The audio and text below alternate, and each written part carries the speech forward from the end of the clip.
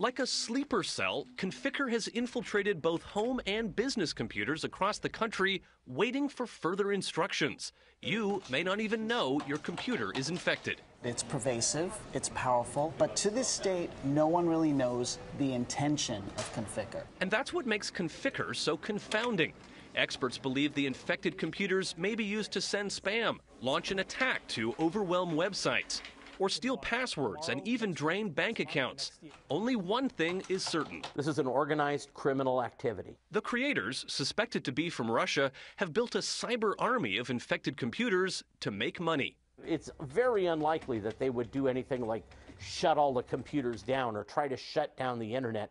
That would not earn them any money, and it would just cause us all to come running up the hill with pitchforks and, and torches. In recent days, security experts have seen evidence infected computers have received some new commands, like to offer you this fake software that charges you $50 and claims to clean your PC. So, how do you know if you have Conficker when the creators are trying to hide it? To check, try going to windowsupdate.com or a security website like symantec.com or trendmicro.com. If you can't get on, you're probably infected. At that point, try running your antivirus software.